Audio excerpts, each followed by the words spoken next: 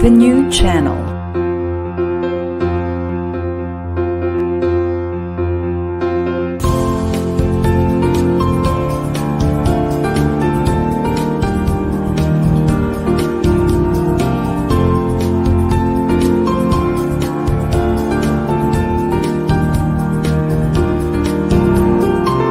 The new channel.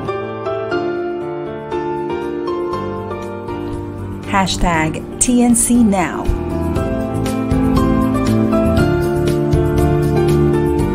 The views, opinions, and insights expressed in the following shows are those of the host, producers, guests, and viewers.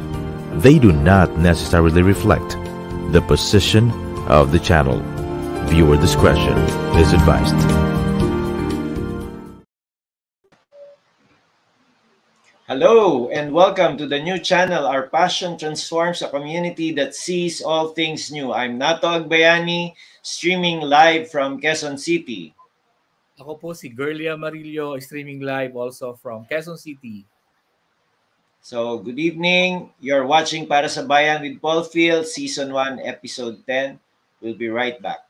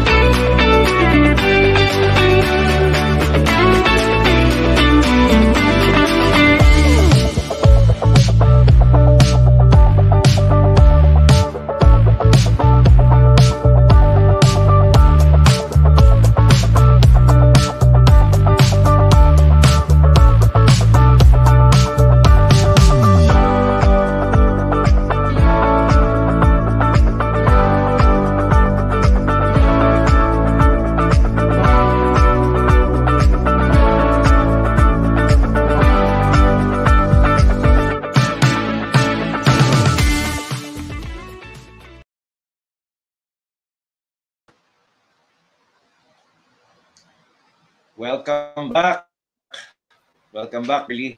So tonight we have a special guest. Yan. Siyempre, walang iba. Yes, of course. 'Di ba? Ano, ah, hindi ko masabi kung controversial or kumbaga he's really a fighting congressman, also a fighting lawyer. Ah, yan no, very close din sa atin because of his background na kumbaga ah, nakikipaglaban ng tunay. Yan. So, Oo. At ah, dapat ah, mga kagaya ng kanyang paninindigan dapat nasa sa Senado 'yan, ano? Si ay ikaw magpapakilala sa kanya. No problem. So let's all welcome uh, former Congressman uh, Neri Colmenares. yes. Yes, uh, good evening po. Good evening Nato. Good evening girlie at sa viewers and listeners po ninyo. Salamat po sa Paul Peel for inviting me. Thank you. Uh, good evening, uh, at Attorney Neri Colmenares, representative, former representative, and of course, uh, uh, our friend. So sa sa mga struggles for people's rights, yan. Yan ang people's rights and welfare. So siguro ang gawin natin, girlie, ikaw ang una magtanong. Hindi pa ano, ah, kailangan nating hingian si Attorney Neri, no? Na pakilala niya ng konti yung sarili niya para Sige. magkaroon ng background, no? Pero tapos mamaya tayo magtatanong tungkol sa kanyang ah, ah, buhay, sa kanyang gusto mangyari sa sa larangan ng politika at ah, kabuhayan sa ating bansa. Attorney Yes, Neri, well, salamat. Yes, oo. Girlie, ah, salamat. Ano, ah, well, ah, ako, well, Nery Colmenares, isang human rights lawyer. Ah, tapos, ah, kung sa education, graduate sa San Beda sa, sa college, ah, economics. Tapos, ah, graduate sa UP Law. Ah, ah, tapos, nag, ah, nag-PhD ako sa University of Melbourne, pero wala, hindi ko natapos dahil ah, na paupo ako sa kongreso, no? So, hindi ko naman natapos. So, hindi ako PhD talaga. Although, I was a visiting fellow at the Austra- Australian National University. Ah, ano pa ba? Ah, siguro, three-term congressista sa since nine, since 90, so 2007 to 2016. Tapos, author ng, well, Disaster Alerts Law. yung nakaka-receive kayo ng text pag hating gabi.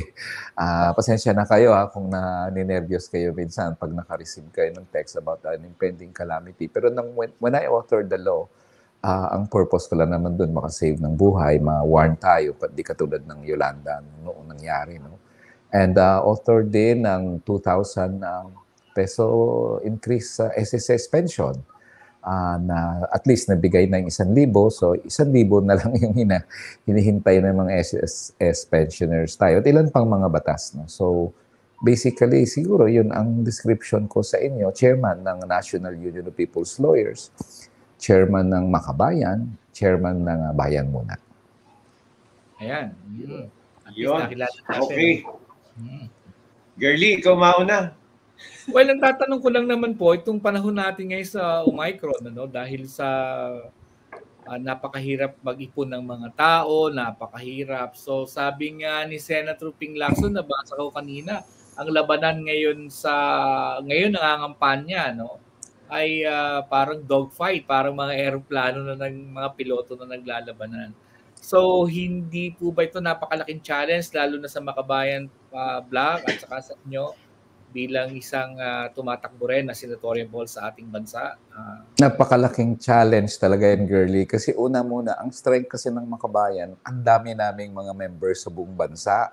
May makinarya kami sa buong bansa. No? We have the campaigners na magkakampanya para sa amin. Kahit ah, hindi mo nga yan binabayaran, eh, mga dedicated campaigners, mga poll watchers na kahit hindi yan ah, mo pakainin ng lunch, eh, hindi yan aalis sa presinto at ipaglaban talaga ang pag-poll watch sa amin. Pero ngayon, dahil sa pandemic, ah, talagang hirap sila doon sa, kasi hindi ka na makapag-pulyeto, hindi ka na makapag-house to house. Yun pa naman ang strength namin eh. Hindi kami makapag-rally kasi ah, dahil nga sa COVID, ang daming restriction. So ngayon, napunta kami sa social media, hindi naman namin kaya ang TV ads.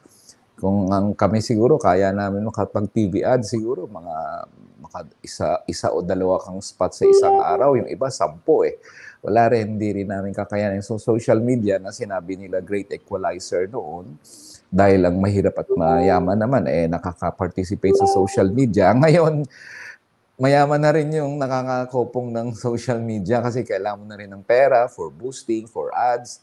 Pero hopefully itong aming mga social, yung aming mga miyembro sa buong bansa, we can, pag ma-harness namin ng mabuti ito, we can become a major social media force. And hopefully, ito yung road namin sa pagpanalo para sa 2022 dahil napakalaki na ng papel ng social media ngayon. So malaking challenge. Walang pera, hindi pa makakilos ng gusto yung mga miyembro mo. At uh, siyempre naman, ah, yung mga ads ngayon napakamahal. Kaya importante sa amin yung any forum na masabi namin yung aming plataforma at yung aming mga panindigan sa mga issue sa bayan. Ayan. Ah, ano po yung ano, nat kana to, isa na lang, ano, isang sundot ko lang kay Attorney Neri, ano. Ah, yung inyo pong mga plataforma or ah, hindi pala plataforma, kundi parang ano yung mga batas na ipagpapatuloy nyo kung sakasakaling bigyan kayo ng pagtitiwala ng sambayan ng Pilipino na maupo bilang mambabatas sa Senado, bilang senador. Well, ang unang batas na file na tuloy namin yan sa Makabayan, eh, yung Free Healthcare Bill. Ang Free Healthcare Bill, libreng gamot, libreng pagamot. Ang, ang ano dyan kasi, pag may karamdaman ka, pakonsulta ka sa doktor, libre konsultasyon. Pag may reseta sa'yo, may gamot, libre ang gamot. Kasi mahirap dyan, girly, dato. Pag may re- libre nga naman ang konsultasyon, pag may reseta si doc, hindi mo naman mabili ang gamot, di ba? Dapat libre ang gamot.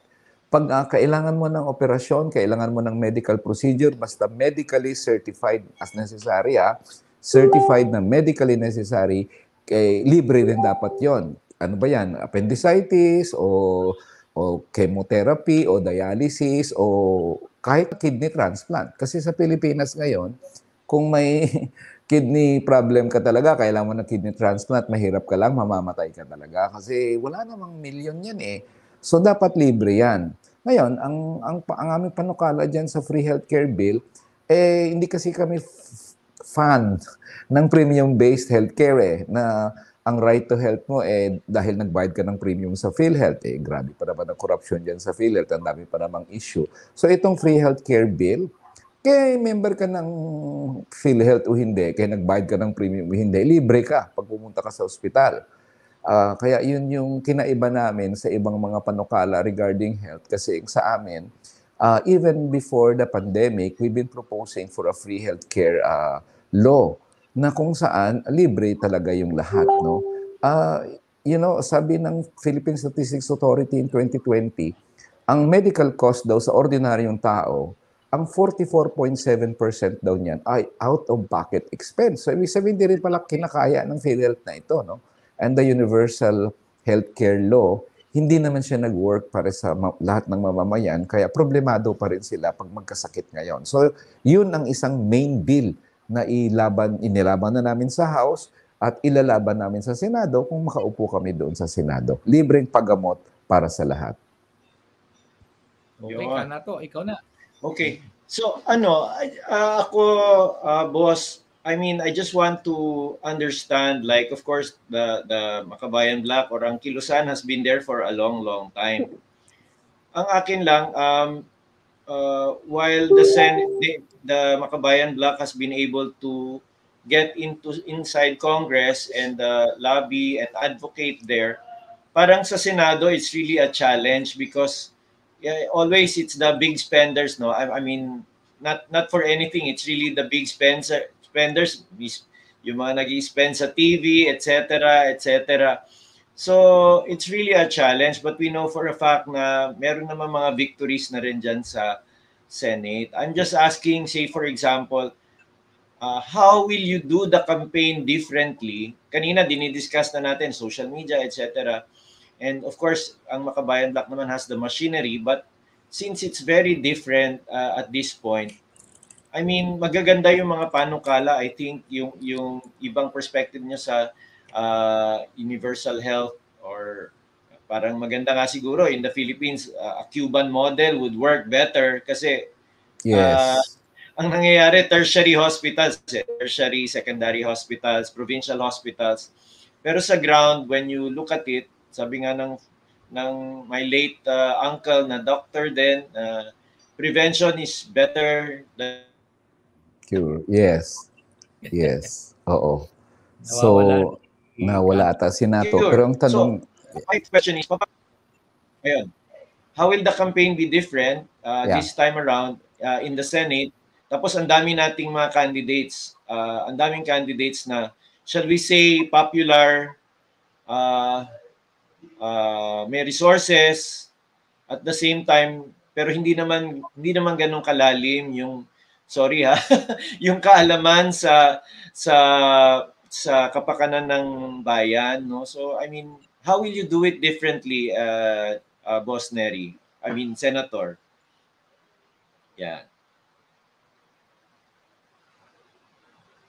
Ayun, Naghang yata si Neri. para naghang si Yon. So, anyway, um, hopefully, uh, Senator will come back. Pero di ba, Girly, napakahirap at this point in time na although matagal na yung maraming mga organizations like Makabayan, the Makabayan Black and uh, other organizations na nagkakampanya din, no?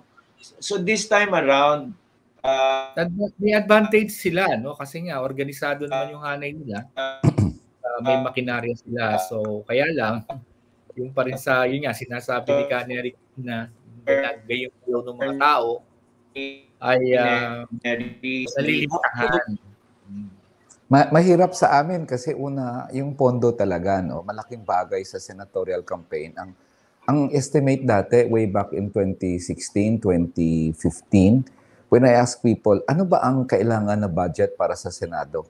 Ang sabi nila, at least 70 million. Eh, ano lang yan, ah, initial budget lang yan. Ah, kung gusto mong medyo may chance kang manalo, 100 to 120 million. That was 2015. Ngayon, siguro baka 300 million na yan. Wala naman kaming ganon. Ang second, opposition kasi kami sa Kongreso palagi. Hindi naman kami tumatakbo sa ilalim ng administrasyon. Yun ang advantage pag tumatakbo ka kasi sa administrasyon. Abay, di talagang may pondo ka, may makinarya ka. Pagpunta mo sa LGU, ba, tanggap na tanggap ka ng LGU. Administrasyon yan eh. Di ba? So, yun yung ah, second na advantage noon. and thirdly, alam nyo, nung sa kongreso kami, at sa totoo lang, marami naman kaming na ano kasi dyan, na paimbestigahan dyan, korupsyon at abuso. Kay korupsyon yan sa kung sinong mga public officials at sinong mga military generals na nag-abuso. May pinaimbestigahan kami dyan ng mga malalaking kumpanya ng kuryente, ng tubig. Ah, so, marami ang nagka-campaign against us, specifically against us during the campaign period. Parang ano, partida. In a way, di ba? Naka, kasi may nagka-campaign na kami on what we stand for, tapos may bumibira din na wag iboto yan, CPP, NPA, the usual na mga red tagging, red tagging. Di talagang yun ang mga kombinasyon na napakahirap sa amin. Hopefully, itong 2022, we will be able to overcome that. No? Una muna, itong social media, well, you would need a lot of money, pero pag maganda at magaling yung, yung, ano, yung social media team, minsan nakakachamba ka dyan, eh, nagba-viral ka dyan. Eh. At nakukumbinsi mo naman ang butante doon sa plataforma mo, sa social media. Secondly, of course, ah, itong mga red tagging, hindi na naniniwala mga taong tagal-tagal din yan. Panahon pa na ilang dekada na nila sinasabi niyan. Eh, hindi naman naniniwala ang tao sa red tagging. So hopefully, we will be able to to uh, to to win this in 2022. At may malaki akong kutob ha. Sana totoo yung kutob ko na ang 2022 is the year of the opposition. Dito mananalo ang opposition kahit ano pa man ang sabihin nila. Malaki talaga ang kutob ko na opposition year ang 2022 at yun ang path to victory namin in 2022. Yan, magandang inyong uh, Girly, Yes, nakikinig ako ng uh, mga team-teaman kay Attorney uh. Neri. No? ano ko Kasi lang ah, yung question ko lang, pa-follow up question ko, yung sinasabi mong kutob, ah, Boss Neri, no? Uh, wha- what's your basis for that? I mean, given the numbers, I think in order to win as a senator, you need like 18 million votes, right? Yes, yes. Oh, so well, 15 to 18, tansya namin. But to 15 be to safe, 18. mga 18. Oo, mga 18. when you say kutob, what does that mean? I mean, in real politics Ano no, ah, yung kutob ko, ang ibig ko sabihin, opposition year. Talagang Yes, yung yes. tingin ko, opposition ng mananalo in this year, no? From the president to down to the senators, no? Uh, so tingin ko marami diyan ang mananalo na mga opposition nga candidates. So yun ang pakiramdam ko. People have had, had enough of six years of uh, this government. And those who position themselves uh, in this, uh, ano, against the policies of this government will generate the support from the Filipino people. Kasi change ang ano eh, change ang um, gusto ng taong bayan tingin namin sa 2022. And I, I am sure yung change na yan will reverberate to the ano to the benefit of the opposition in 2022. I see. Ayun.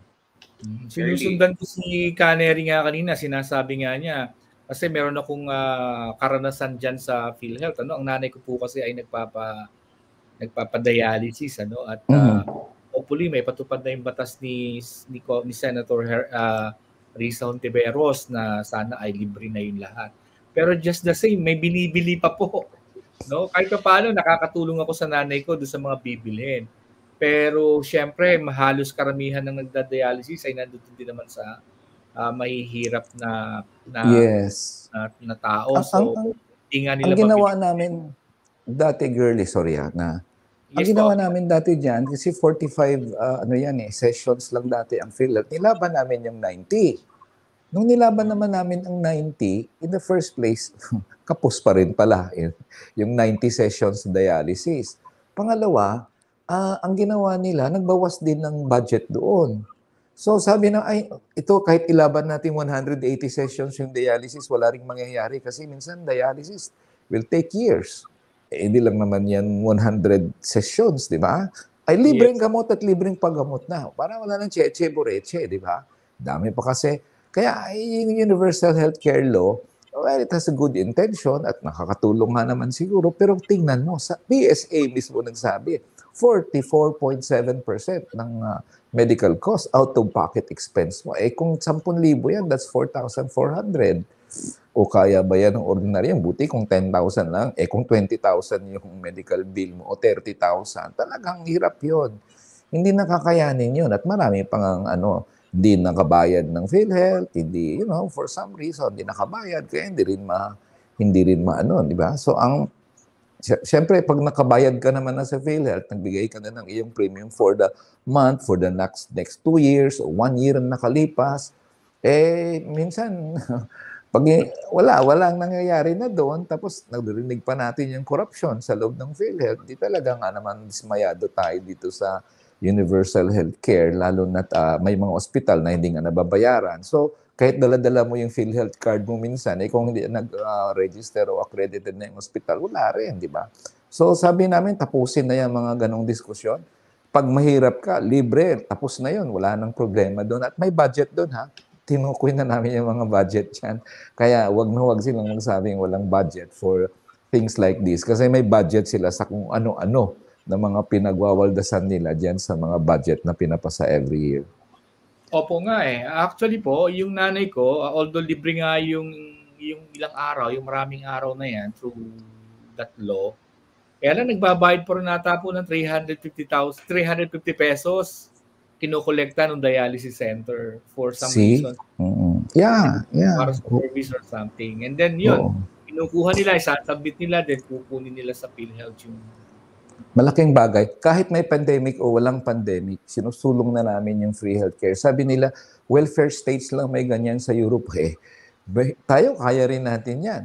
Oh, Di ba, nung, pin, nung final ko dati yung 2,000 dagdag sa SSS pension, sabi na, Neri, suntok sa buwan yan. 200 pesos nga lang, di, hindi nga tataas ang pension sa SSS. Eh, sabi ko, eh tingin ko tama ito eh. Tsaka pangalawa, paano ka makasuntok sa buwan kung hindi ka susuntok? O edi, nakasuntok din. Pumasa sa House, pumasa sa Senate. Di ba? Yung, yung bill na yon. Kaya very important na ilaban mo lang, pagtingin mo tama ka, ilaban mo lang. Yan naman siguro ang very proud ako sa mga kabayan. Kasi sometimes uphill battles yan, pero sabi, alam mo, yung, pero nilalaban namin. Alam niyo yung, yung disaster alert law, hindi naman easy going. Akala mo, easy ba yung bill na yon? Hindi ah.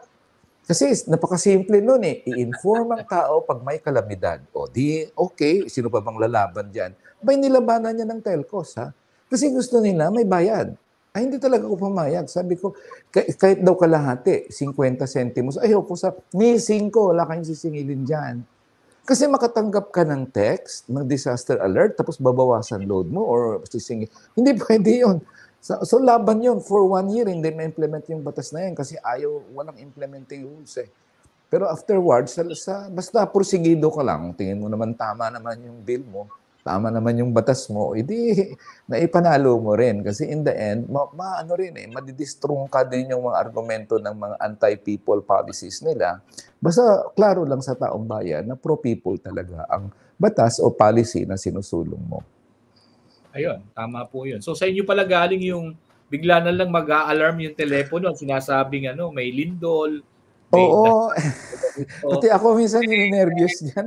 ano, nakaka-nervyos. Akala niyo po kung ano na. Ah, ah, ah, ah, Pero maganda ah. po yun, ano? Napakagandang uh, Yes.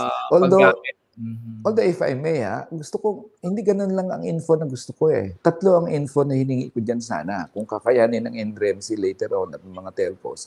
Ang una, i-warn ka kung anong darating na kalamidad. Halimbawa, sabi sa Yolanda, kung alam lang po namin kung ano ang storm surge, iba ang ginawa namin. Kaya nakakaalam na kung anong storm surge ng 2013. Kahit ako nga, hindi ko alam ang storm surge na yan eh. O, pangalawa, pag may andyan na yung bagyo, alam niyo kung saan dapat ang evacuation center. Kasi pag magkamali ka ng liko dyan, may nangyari yan sa Leyte. Mali ang liko, pumunta sa eskwelahan, hindi sa simbahan. Ubos ang buong pamilya. Na, uh, naabot sila ng ano, storm surge. Akala nila doon yung evacuation center. At pangatlo, yung relief operations. Nakita ko yun sa Samar Leyte. Nakapila sila sa isang barangay center. Hindi pala doon yung relief. Gutom ka na nga, nawalan ka na nga ng bahay, walang kuryente, tapos pumila ka ng kalahating araw, wala naman palang relief na darating doon. Mano ba namang i-text yan sila kung saan ang relief? Para naman alam na nila kung saan sila pupunta. Kaya frustrating yan eh. So all these things sana gusto ko, yan ang buo ng disaster alert law. These kinds of information which becomes very important to the people, especially in the midst of a calamity. Tama po, tama. Mhm. Ano Okay. to? So, Um, napakaganda, no? Yes, what we'll do now, siguro we'll go into a short break. After this, we'll discuss uh, more on uh, the platforms, yung legislative agenda ni uh, Attorney Nery Colmenares. So, we'll be right back.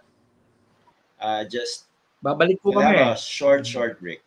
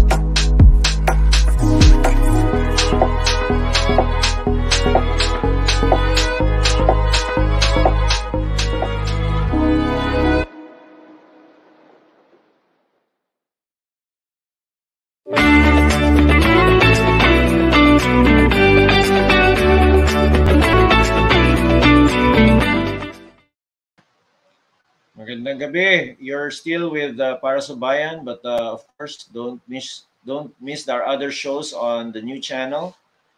Yeah. So we have many shows on the new channel. Among them, of course, the Town Hall, Money and More, Marketplace, Mental Shift, COVID Stories, HR Height, Hotline, Reality Realities, YOLO, um, Chill and Charity Fridays, One Day, Win Within, Bruce and Beyond, U-Turn, um, Women at Work, Market Leader, Danny, The Talk, Puppet Stories, Awesome Day, Cybernex, Wellho, Healthline, Aftershift, Couple Goals, Negosyo, um, The Family Business with Nato Agbayani, Usapang Beauty, Tech You, Fourth Project, Foreign Affairs, uh, Uplift, TNC Arena, TNC Express, Skin Nurture, FH Moms, The Frontline, The Presscon, Networking Live, um, GFox, Fireside Talk, and of course, don't forget, uh, hashtag Para sa Bayan with the Political Officers League of the Philippines or POLFIL. So, welcome back. It's every Saturday, 7 p.m. Yon, boss. Ang dami-dami na pala Okay. sa TNC. Grabe. Boss, ibalik na natin si Prof. Gurley. Ibalik na natin. Walang iba. Kundi ang ating special guest for tonight, si Attorney Nery Colmenares. Yan. Hi, dami niyo palang programs. Galing. Opo. so, nabuo lang tong TNC during the pandemic. So, right Oh, now, yeah.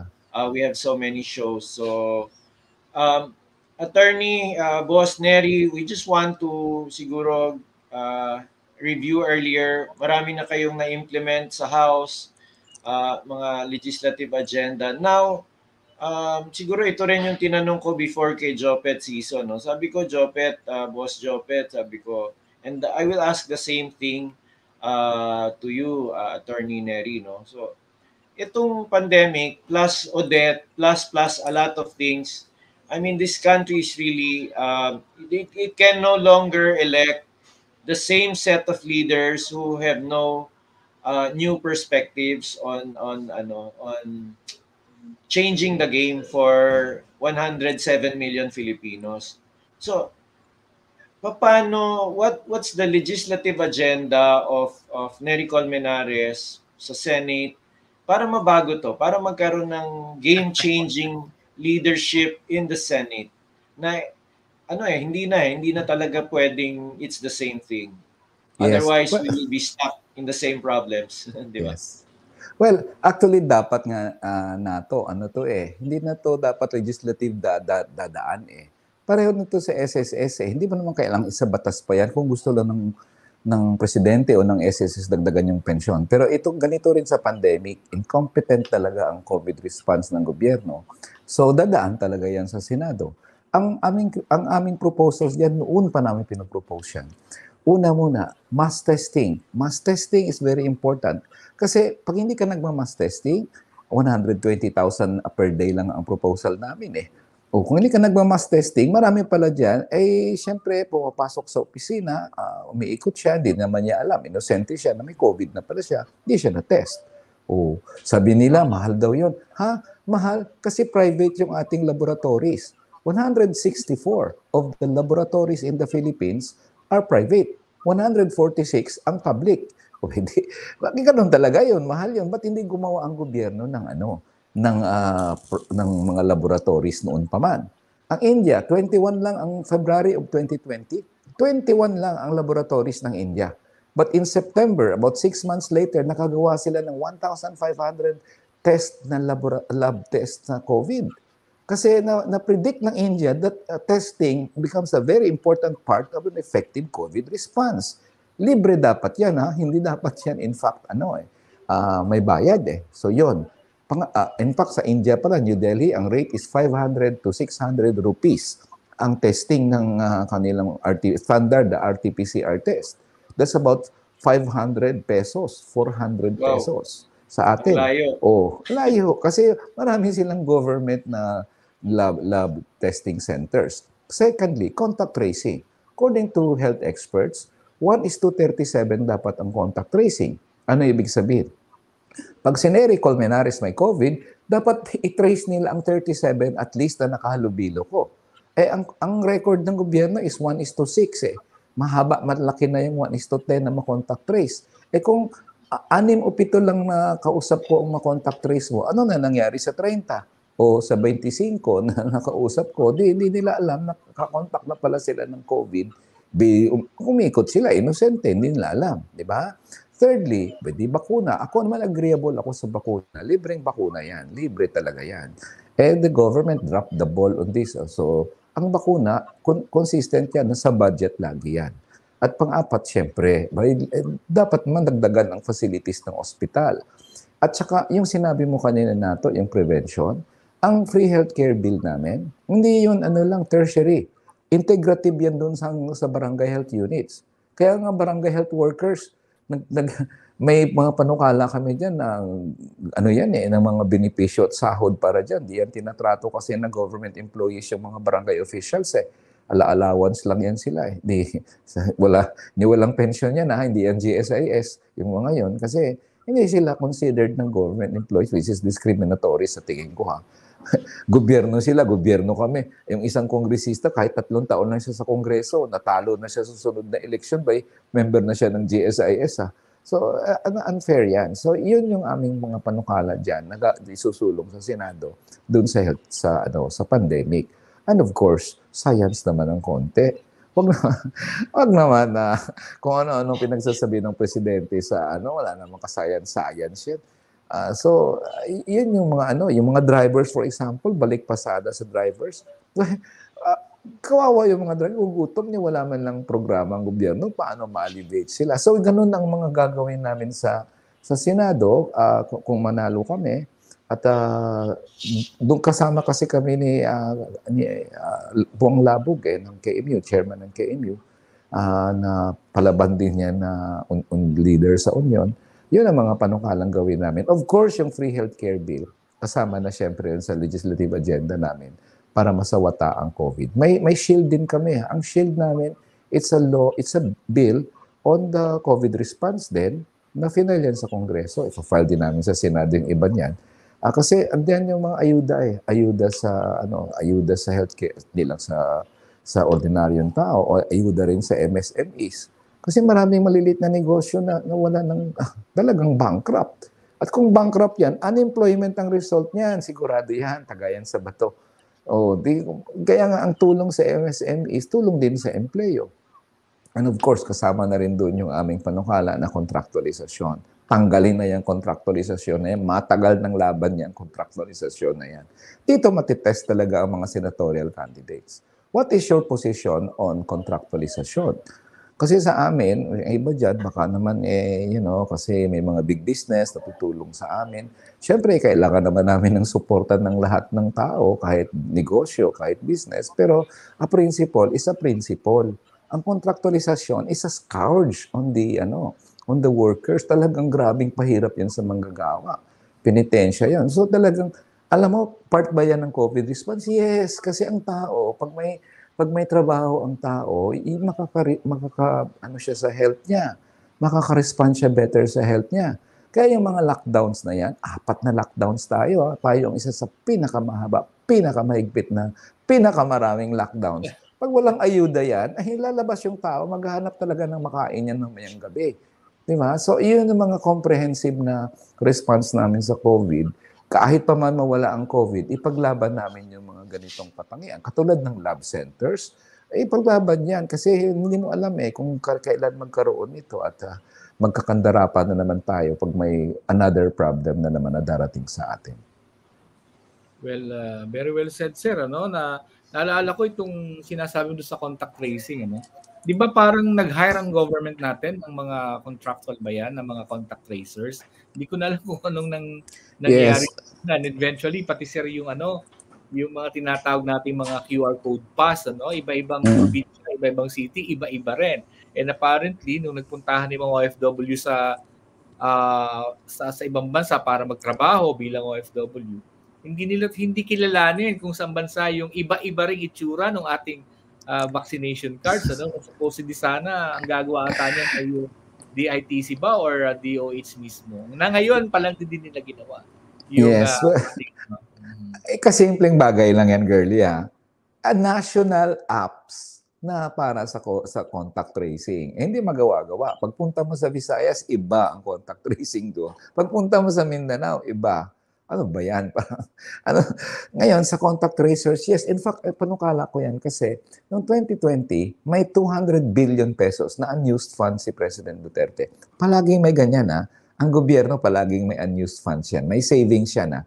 Kasi ang savings, nare-realign nila yan kung saan-saan eh. Alam ko yan, ilang budget ng nilaban namin yan sa Kongreso, tat siyam na taon na laban namin yan sa budget na yan. Kaya palaging may unused funds, 200 billion pesos. Sabi ko, bay, ang 200 billion pesos, kung ginastos nyo yun sa contact tracers, di malaking tulong yun. Hindi ka na nakatulong sa COVID response, nakatulong ka pa sa empleyo. Ang peg ng contact tracers is 18,000 pesos a month. Oh, 18,000 pesos a month ang susahod sa kanila.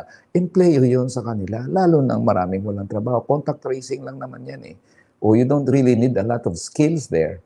Right? Secondly, yung 200, 300 billion na pesos na unused funds, well, makahire yan ng halos kalahating milyon na contact tracers for six months.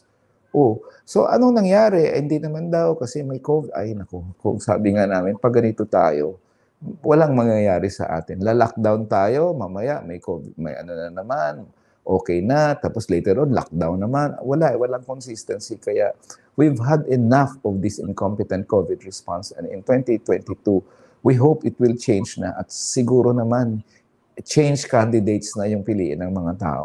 Change candidates, yung mga kandidatong magbabago ng mga ito. Hindi yung mga kandidatong uh, pareho pa rin ng katayuan. Kaya ang advice ko sa mga botante, when when a, when a presidential or senatorial candidate goes to you, nagkakampanya sa inyo, tanungin mo ang posisyon nila. Anong posisyon mo sa COVID response ng gobyerno?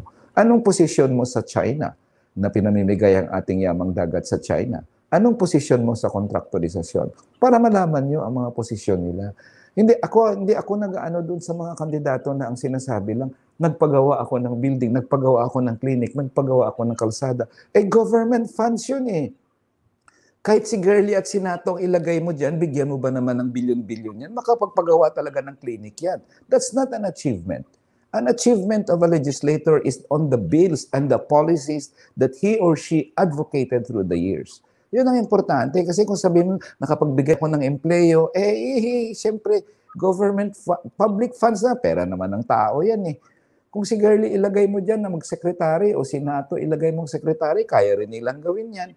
Cabinet member sila, eh, may billion sila, eh, patayo ka ng clinic, patayo ka ng kalsada, di ba?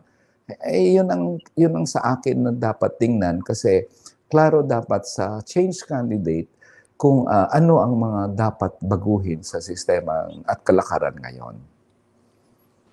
So sa sa ganyan pong uh, linya, yung inyong kutob na yung 2022 is really a opposition uh, year. Yeah. Uh, opposition year no because of uh, the not hindi man failure kundi yung mga hinahanap ng taong bayan yes. Uh, yes. sa mga naganap sa atin. Ano to? Yeah, yeah. Ganun ang ang basis ko for for that. Yung change candidate ang pipiliin nila in 2022. Ayan, nag-vlog out pa kaneri si... Uh, Nag-freeze. Ito pa, third world pa yung ating internet system sa Pilipinas. Oo, oo nga, yan nga po pala. No? Kaya hirap kami sa makabayan dyan kasi ang mga members namin, maliban sa minsan, kailangan ng device. Kasi social media force kami dapat, di ba? Kailangan nila ng device kahit analog man lang. Eh, pangalawa, walang signal o paano nga mag-social media warriors niya ng hundreds of thousand, eh, walang signal sa lugar nila. Kasi maraming members namin, uh, medyo liblib ng mga lugar. So, ayun, na, nagla-log out si ano, nagla-log out si Nato. Kanina pa yan.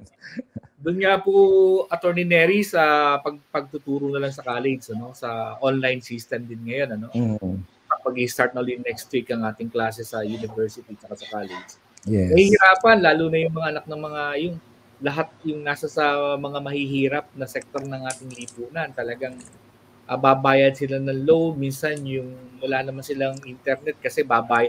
Ikaw ba naman, pamilya, babayad ka pa ng 1.6 per month doon sa, para lang sa eh, kailangan nila ng pagkain. So lumalabas pa sila, naghanap sila ng malalakas na signal. So, yan, yan ang issue ng teachers ha. Kausap ko yung mga yes. teachers, kaya may bill kami dyan. Nagbabayad talaga sila. Yung para sa bahay nila, hindi nila kakayanin yung data-data. Hindi nila kakayanin. Yes, eh. Kaya may panukala kami dyan sa bill, sa house, na in, ang mga teachers bigyan niya ng laptop. Tapos mga estudyante bigyan ng laptop. O device man lang para naman naka ano sila. Tapos may load, may load dapat, may internet load. Alam mo mga teachers ang binibigay sa kanila, kulang na kulang. Ilang gigs yun? Ilang gigs lang binibigay sa kanila? 36 gigs? Bay, uh, smart pa ata yung binigay sa kanila na ano, eh sa ibang lugar wala namang may may nang smart. Pangalawa, eh isang ano session mo lang eh more, mga 5 to 5 gigs na yung gagamitin mo. Eh paano ka Totoo po yun.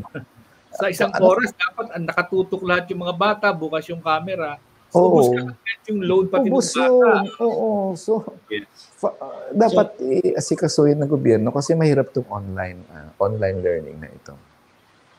Hindi. Tsaka it becomes it becomes uh, ano no. Uh, dati ramdam na ramdam to no, yung relief operations namin sa Tabang Bohol for example. Hmm. Talagang yung mga tao nag-gravitate where there is a signal. So mm-hmm. it has become it has come to a point na yung data eh para na siyang talagang utility. So tubig, kuryente, pagka wala kang data, uhaw na uhaw ka sa data. Mm-hmm. So it, it, it becomes now a tool for survival. No? Parang naging basic need na siya. And in fact, I think in some European countries, basic need talaga siya. Uh, mm-hmm. It's yeah. no longer, it's a right. It is a right to have internet. No? So I mean, mm-hmm. you know, we, we have come to that uh, point na talagang education is being done online, everything is uh, being done online. So I think part then ng legislative agenda ng isang senator siguro uh, Attorney Neri, Boss Neri talagang is really ano ano uh, the infrastructure, the data infrastructure for the Philippines. Yes, yes. The data infrastructure must be there. It must be government para sa amin, ha? Thailand. Thailand set up its data infrastructure long, long time ago. Tapos, nag, nag, may privatize din sila later on, pero kanila na yung structure. So talagang dito sa atin, eh, wala eh. Talagang reliant tayo sa private corporation. So talagang yun ang problema. Yung nanay ko dati, sabi niya, sa, pag, pag may brownout o ano man, sabi ng nanay ko, ay, mabuti na lang mawalan ng kuryente, basta huwag lang tubig. Ngayon, tinatanong ko yung anak ko, anong gusto mo? Sabi na nga, ay, wala akong pakialam kung walang tubig, basta may kuryente. Nagbaliktad na ang mundo. Eh. kaya, kasi hindi siya maka-load, hindi siya maka-Facebook, hindi siya maka, di ba? So, iba na yung thinking ng mga bata ngayon eh. So, naging basic nga na nga yan na needs din. Of course, hindi naman tama na pang Facebook, Facebook lang. No? But uh, naging basic na need na rin ngayon yung communication aspect ng ating mamamayan. I think the entire the entire country will rely on data and data infrastructure for a long long time and even for development no? Parang ang nakikita ko attorney uh, prof. Girly no is um, nagkakaroon na ng naging very possible yung dati work from home di ba? Parang ang tamad naman yan nag-work from home. Pero ngayon talagang kailangan na mag-work from home otherwise ma-infect ka And yes. yet, work is still being done. Kumbaga, productivity is still there. So the question now becomes, uh, how can we use this data infrastructure? Kasi yung sinasabi mo, uh, Boss Neri, na face, pa Facebook, Facebook, eh yung, eh sa totoo lang, ang daming businesses na nakadun din nakarely, di ba? Correct, correct. Uh, they, yes, they yes. do business through Facebook, Facebook Marketplace, mm. or other social media apps. What I'm saying is, parang uh, to for the Philippines to be a progressive country, I think malaking issue yung data data science, yung internet uh, for development, no. Eh, kumbaga dati mm-hmm. the the haves and the have-nots, di ba? Mm-hmm. It's, it's yeah, yes, yes. Oo. Have-nots. Now it's the those who are digitally um uh, uh di ba do not have or do not have access 'di ba? Parang kung wala kang access, kana to, ang hirap. Binanggit, yes. binanggit din kanina ni uh, Attorney Neri yung sa disaster, no? Eh, uh, yan, ito na, pandemic to eh. So, what, mag 2 years o mag 3 years na to. So, nakikita yung mga pangunahing pangangailangan. Eh, after undoy, hindi nakila, nakita ng pamahalan yung mga pangangailangan. Imagine ang pinampuputo nila lagi itak dun sa mga sa mga puno na natumba tapos laging kailangan nila ng AFP para sa clearing operation. Eh, ang laki-laki ng pondo para sa disaster ng probinsya at saka ng mga syudad. Bakit hindi nila sila nag-capacitate? Bumili man lang ng mga lagari, oh. ng ano-ano. Ala, so, alam mo, girly, kung sa disaster lang, PhD na tayo eh. Graduate na tayo niyan sa PhD. Kaya nga po, Pero, sa dami po ng disaster, ano? Parang elementary pa rin umarte yung gobyerno eh. Kaya you know, dati may final akong kaso sa mga malalaking telcos kasi ang pangako nila, halimbawa, bibenta sila uh, 50 Mbps o 100 Mbps yung speed. Tapos, uh, ang findings namin, eh, bay, 80-60% of the times, eh, of the time, eh, less than less than what they advertise. Eh, sabi namin, eh, bumili ka ng 50 Mbps, i-deliver mo, at least 80% of the time, i-deliver mo yung 50 Mbps. Hindi pwedeng 20 Mbps lang speed, di ba? Eh, ganun pa rin eh, hanggang ngayon eh. Uh, kaya siguro naman si Nat Kanatoy eh, bumili naman yan ng mataas-taas na ano, kaya lang nagla-log out pa rin siya sa signal niya. Eh, ganun Imagine talaga yan. eh. I'm sure uh, gumagastos naman yan kasi because I have uh, two students here and my wife is also a, a, oh. a public school teacher. So, ayun, gastos namin yun para makapagturo sa mga bata.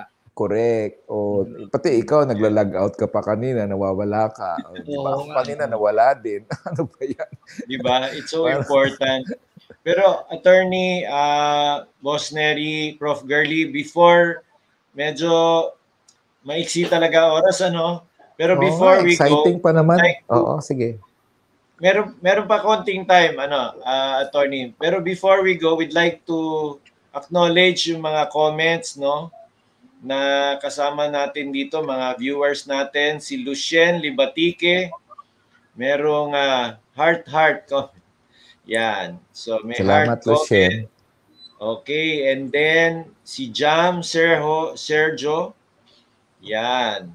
Hello po. Salamat sa panonood Then of Salamat, course, si. Apple, yung ating ano, good Hi, evening si Apple Sir Girly. Thanks for coming TN to TNC. Uh, Attorney Neri, we wish you luck. Yan. Sa- salamat, then si- Apple.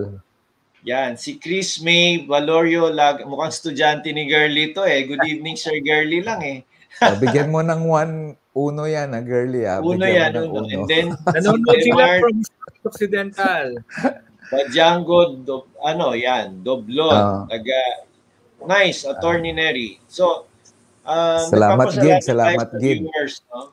But before we go, uh, Attorney Neri, um, like what we said kanina, gusto naming uh, bigyan ng fresh perspective ang ating mga viewers. No? Sa milyong-milyong viewers natin, na ano yung, what will they, uh, should you be elected as senator, what uh, what thing will they see na bago as compared Yes. to the previous senators? Of course, mga kaibigan din natin yung mga uh, former senators or current senators, but what will they see new in uh, Nery Colmenares? Well, ako palagi ko sinasabi sa mga botante, dalawa lang ang criteria natin. Una muna ay yung pro-people platform. Anong position mo sa contractualisasyon? Anong position mo sa ganito? That's the first. Anong position mo sa rice tarification law na lumulumpo sa ating magsasaka at mga poultry raisers? Ganon. Secondly, track record. Kung ang kandidato na yan ay sa tang tanong niyo sa kandidato, ito bang may ina- ina-advocate mo? Ito bang plataforma at programa mo? Ginagawa mo na to dati o ngayon mo lang sinabi to dahil eleksyon? Dapat ang kandidato na pipiliin natin, yung may track record. Yung pinaglalaban niya ang mga advokasya niya, may eleksyon man o walang eleksyon. At yun siguro may pangako ko diyan sa ano sa mamamayan. Kasi ako may eleksyon man o walang eleksyon, pinaglalaban ko yung mga sinasabi ko ah, mga kontraktualisasyon na issue, tanggalin yan. Pinaglalaban ko na yan noon pa man. So, pag sa Senado ako, lalo kong lalakasan ang laban. Meron akong ano palagi nilang sinasabi, Neri, you're fond of ano ah, you're fond of ah, yung mga mahihirap na mga batas, yung maraming ko- ano, maraming kalaban. Eh sabi ko, minsan yun ang kailangan eh. So siguro pag ako nasa Senado, yung mga hindi normally iniimbestigahan, paimbestigahan ko yan yung mga batas na hindi normally pinapasa, katulad ng free healthcare bill, yung sa budget, hindi masyadong binibigyan ng budget, ipaglaban ko yan. At siguro yun ang sabi sa akin ng isang kaibigan ko, sabi niya, Neri, bakit opposition kayo lagi? Eh, sabi ko yun ang function ng Kongreso eh. Ano bang gusto mong congressman? Yung kung sinong presidente nakaupo, lilipat siya doon sa presidente? O i-maintain niya ang constitutional mandate of a legislator, which is to uh, legislate the president, checks and balance. O sabi niya, mas gusto ko nga naman yung hindi balimbing na kongresista. So sabi ko, ganun din ako sa Senado. I don't care who the president is. Pag tama, tama. Pag mali, mali. Pag tama ang presidente, sabihin ko, thank you, Mr. President. Pero pag mali ang presidente, wala ako, hindi ako nangingimi dyan na birahin yan. Kasi yun ang function ng Kongreso. Yun ang function ng Senado. You check and balance the other branches of government kasi that's part ng democratic process, di ba? So yun siguro ma-expect nyo po sa akin kung gaano po ako kapalaban, ah, wala pa ako sa Senado at hindi kahit walang eleksyon, kung nasa kung nasa Senado na ako, ipaglaban ko rin yun. Double pa ang effort ko na ipaglaban yung mga issue na yun. Ayan. Okay. Girly, Well, ayun, ma- nagpapasalamat tayo at naging uh, bisita natin at nakapagpa nakapagbigay ng isang ah, isang konkretong alternatibo para makapamilya ang ating mamamayan. At ang sinasabi niya kanina ay ah, tanungin natin, ah, tanungin natin yung mga estudyante ko, tanungin nyo ang inyong mga kandidato sa kagaya ng sinasabi ni Senator Nery dito sa ating nabisita natin ngayon. Sapagkat kung tutusin ay ah, tayo naman din lahat ang makikinabang nito. Yes. Salamat, salamat. So maraming salamat, Attorney Neri Colmenares. Um, thank you for joining us in the show. Uh, we hope to see you in the campaign. Uh, kailangan natin ng mga taong consistent sa kanilang principles. No? Tama yon. Hindi lang yung mga magsasabi ng ganito or ganito dahil eleksyon. Uh, what we need is consistency also. So with that, we'd like to thank Attorney Neri Colmenares, of course, Opo. our co-host, Professor Gerly Amarillo, and then wala lang dito si Sir si Bay Edward nasa Cebu. Hopefully, alam ko may kuryente na kaya lang baka wala pang data. So, thank you for joining us uh, on behalf of Para sa Bayan with Paulfield and the new channel. Uh, good night, uh, our viewers. Thank you for being with us tonight. Uh, hope to see you next week. Uh, we will be joined by uh, Riza Ontiveros, and hopefully um, the week after that, another senatorial candidate for our special January senatorial uh, PH Senators uh, episodes. So, Girly, thank you, pare. Salamat sa mga salamat din pare na to at kay kay sa Paul. kay Neri ano sa kanyang pagpapaunlak sa atin sa ating Yes. abang pala sa ating abang show. Okay. Good night, everyone. God bless Night. you. Para sa bayan. Para sa bayan.